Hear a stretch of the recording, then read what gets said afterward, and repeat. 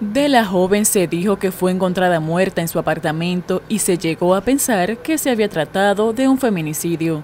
Hasta el momento se piensa que la joven Yajaira Carmona falleció a consecuencia de un infarto, no obstante, las autoridades neoyorquinas investigan el caso.